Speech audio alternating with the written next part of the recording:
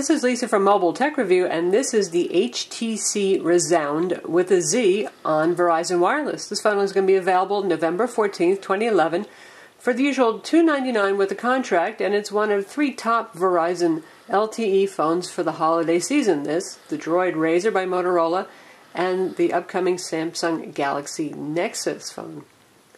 So you can see this is a fairly big phone. I mean, they all are. It's 4.3 inch display, but one of the things that makes it special is this 1280 by 720p. That's very high resolution. It's your standard Super LCD. Nothing's going on with Super AMOLED or anything like that here. And of course, it has LTE on Verizon. Take a look around. Well, from the front, it's your standard HTC curvy kind of phone here. Red accents. You've got the red earpiece over here. A little metal going on on the side. Here's our volume rocker. Subtle, shall we say, doesn't stick up much. One piece rocks back and forth. On the top here, this is the power button. Very small and, and very flush, so you really have to work to find that guy. Headphone jacks right there. And on the back we have the sculpted pattern, kind of rugged, rubbery looking thing with the red around the lens, dual LED flash, and the Beats logo, because this comes with a set of Beats earbuds. And you can see the kind of like incredible style back that we've got here. And there's your micro USB. This is actually one of the HTC specialty ports. It also works with an MHL adapter. Microphone hole here. Microphone hole here. And if we pull off the back, by the way, two more microphone holes here, and this is your speaker.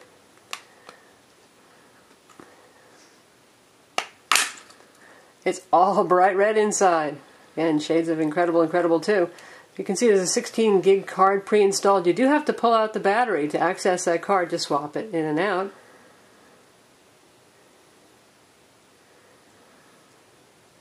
And the LTE SIM card slot is right here. And here's the battery, also obviously in red, 1620 milliamps. That's kind of a low capacity battery for an LTE phone since LTE is a big consumer power, not to mention this has a dual core CPU and a reasonably large display. So don't expect this guy to be the champ of battery life. One thing that does help it though is it has the Qualcomm Snapdragon chipset that works with the LTE chipset very nicely in terms of power management efficiency.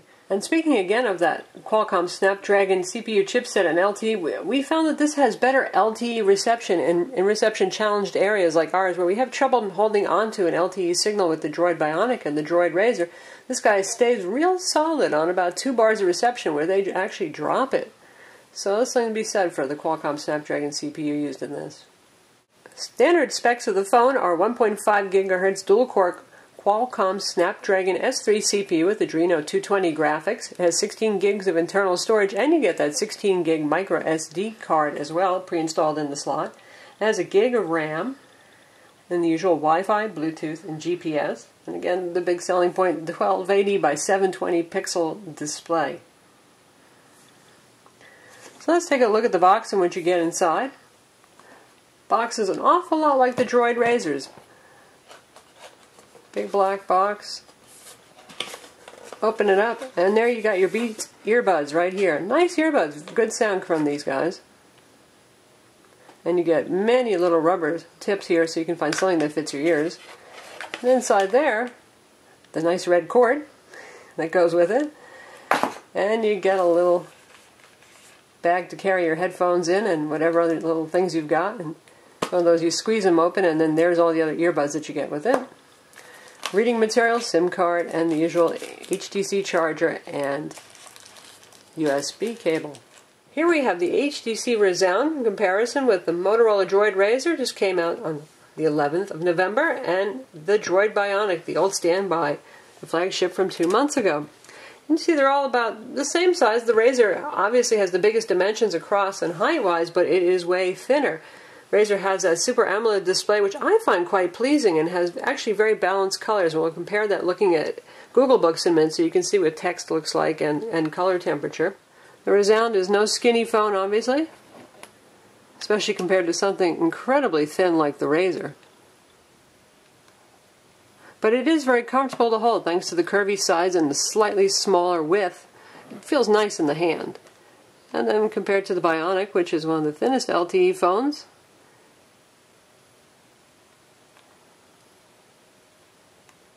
Now, in terms of voice quality, I have to say that both Motorola phones are the winner, and I think the Bionic might actually have the best call quality to, to my ears for both incoming and outgoing voice. Nice and crisp and clear. The Razr sounds pretty good. It's clear, but it sounds a little bit thinner on incoming and outgoing voice, but it's pretty good. And the Rezound is the weakest of all with the least distinct voice. It's not a terrible voice phone, but it's not as good as the Motorola's. So you've got a trade-off here. It's better voice quality on the Motorola's, but better LTE reception on the Rezound. Now let's take a look at screen quality and resolution. On the right now we have the Droid Razr, which runs at QHD 960 by 540 pixels with a Super AMOLED display. In the center we have the HTC Rezound with its 1280 by 720 display, and on the left we have the Droid Bionic with also QHD 960 by 540, just straight LCD. So you can see the differences here. Typical of AMOLED, this one is a little bit starker and brighter, though it's more accurate than, say, Samsung Galaxy S2 in terms of color. It actually looks warm compared to the Galaxy S2, which is interesting. In the center, we have the highest resolution one. This should have the sharpest text, and we've got the text set pretty small, so you can see how readable or not it is, and it is indeed very, very sharp. Particularly looks good in low lighting, the kind of environment you might be reading it. And the, the letters, boy, you certainly cannot see a single pixel there. Very sharp and nice. And the well, gee, the Bionic actually looks quite good. It looks actually the most color accurate. Very white page, and text text is very crisp on the page. So it's it's very good for that, despite the fact that it has the most boring LCD technology among the three of these. Now, if we make the fonts bigger, now I've enlarged the point size two points so it might be easier for you to see on video the crispness. And this one still has slightly smaller fonts because it is a higher resolution display. So even even though Google with Android is, is doing some control over scaling to keep things readable, th this will always have slightly smaller fonts. One thing to note is as you get off angle, if the brightness is not set very high on the Motorola, it starts to look kind of blue. This guy starts to get, get kind of purple. This one is actually perfectly white. The Rezound runs Android OS 2.3.4 Gingerbread and HTC Sense 3.5. So you get the latest version of HTC Sense here and their usual set of widgets and the flip clock with weather that everybody loves. The shortcuts here to quick to your phone dialer screen, access all applications and personalize for quick settings for your wallpaper, sound themes, all that kind of stuff. And this is set up in the usual arrangement. You've got your all apps, you can go to frequent, you can go just to downloaded, and this one has an additional tab for Verizon Wireless applications.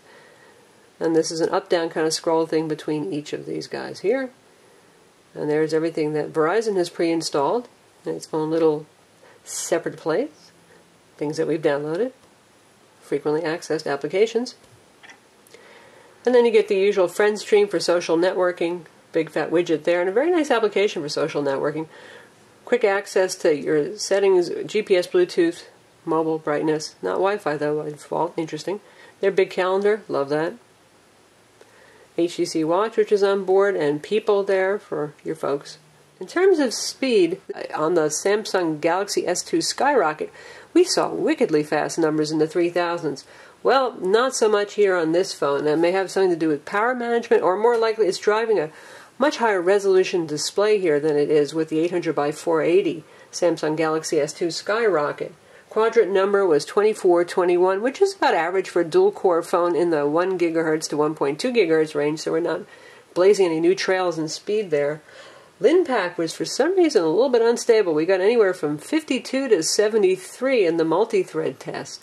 Did very well in the SunSpider JavaScript test, though it managed a 2998, which is pretty good for a phone. It's not the all-time best that again we saw on the Skyrocket, which is just phenomenal, and it's not as good as the iPhone 4S, but beyond that, it's it's pretty good speed. Sometimes we see 4,000 all the way up to 6,000 on some Android phones, so that's good, especially combined with the LTE data speeds here. Speaking of LTE,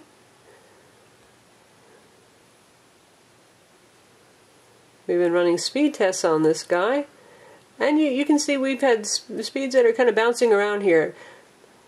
9 megs per second, 6, 9 again, 10, 8 for download speeds. And outdoors, closer to a tower, we had a phenomenal 23.8 megs down and 8 megs up.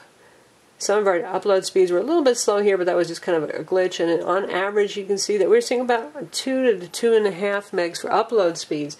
Now that's good, but that doesn't beat the Motorola Droid Bionic or the Razr, who are so far for download speed tests and upload speed tests using speed test the all-time champs, and they average 13 to 16 in the same location where we were seeing uh, average about 9 megs down here. Now, as I mentioned, web browsing speed is great. Between the LTE and, and the very fast JavaScript rendering, we see some very good performance here.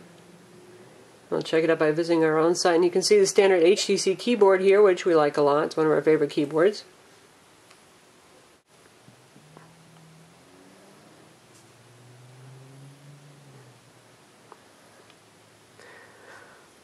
Our site downloads pretty quickly, and that's a full desktop site. Zooming speeds, nice and fluid. Ads are not bothering it at all. So let's see how it handles Adobe Flash playback. Adobe Flash may be on the way out for mobiles, but right now it's still a useful thing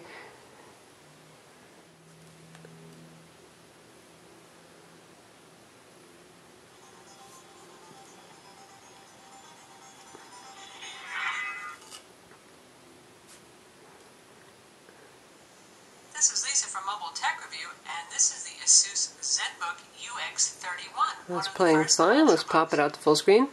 The Ultrabook is Intel's new initiative to bring.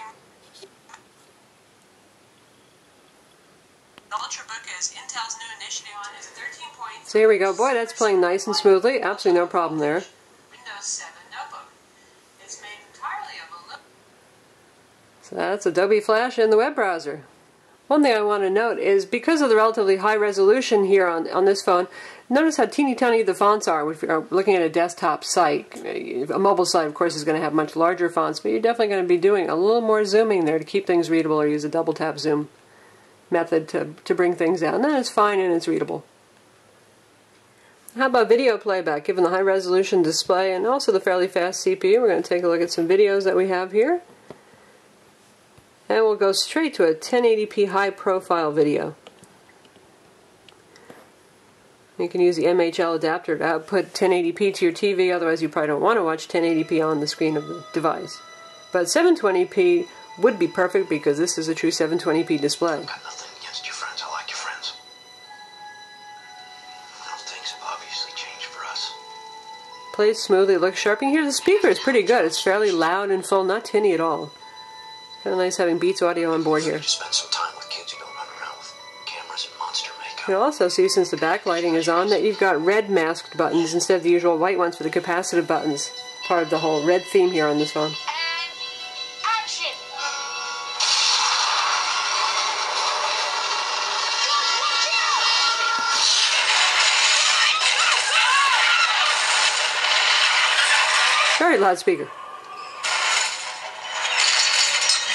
Also, for those of you who are concerned about battery life, there's a will be an inductive back available for this. For those of you who have the inductive charging pad that Verizon sells in stores, so you can be able to charge it just by plopping it on the inductive charger.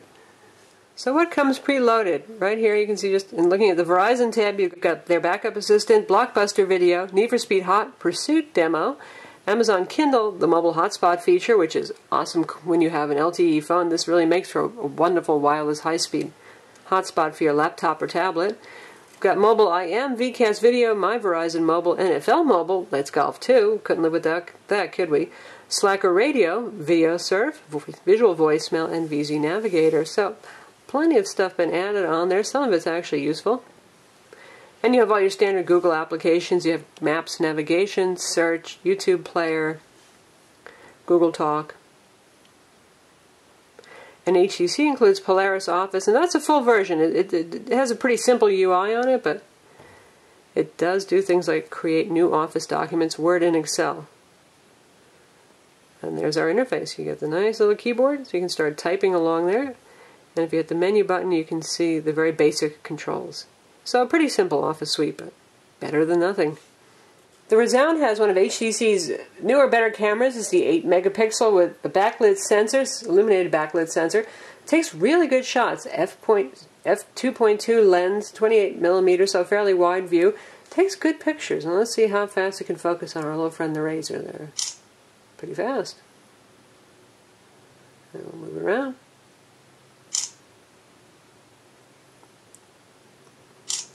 A little bit of hunting to focus, but pretty good. And you've got all sorts of settings here.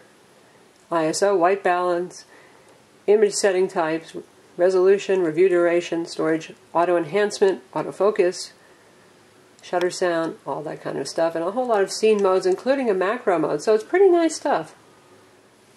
And you switch to video mode using the slider here. And now we'll test out video recording here. And got a video and a video, and we're moving around and panning on our Razr.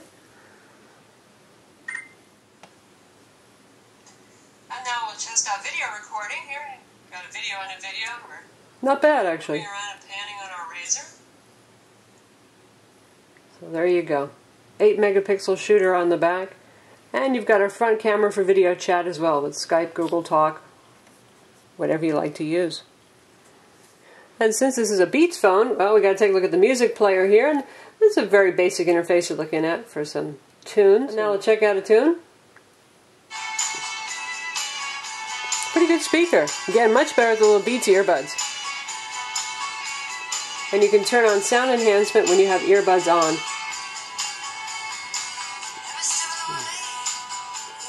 And you can turn on sound enhancement when you have earbuds on, and you can update album art. There's that sound enhancer says use the headphones. Oh, it's a music player. So that's the HTC Rezound for Verizon Wireless, available November 14th for 299 with contract. And it definitely has some tough competition, doesn't it, with the Motorola Droid Razr and the upcoming Samsung Galaxy Nexus. What does this bring to the table? It has that high resolution display, higher resolution than the Droid Razr. I know some of you don't actually like the Super AMOLED on the Droid Razr. Uh, this is definitely sharper for reading text if you want to use it for reading ebooks. You get the Beats audio and the Beats earbuds, they sound pretty good. And, and you get the, the better LTE reception, as I mentioned. If, if you're in a place that has, well, great LTE signal all the time, it really probably won't matter to you. But if you're in a kind of signal challenge LTE area, this one really holds on to a weaker signal like nothing else without the ping ponging back and forth that I've seen on my personal Droid Bionic and even the Droid Razr between 3G and 4G.